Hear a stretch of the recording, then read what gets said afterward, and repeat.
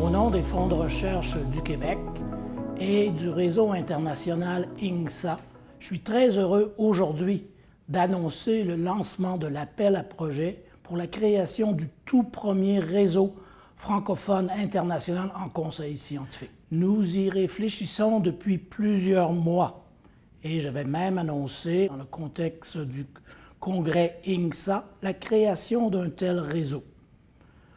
Nous avons été appuyés par un comité d'orientation présidé par M.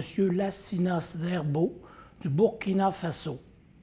Merci à tous les membres du comité d'orientation qui nous ont aidés à développer l'appel à projet.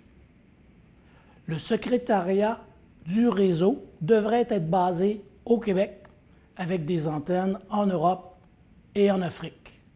On espère être en mesure d'annoncer le résultat de la compétition dès cet automne. Bonne chance à tous.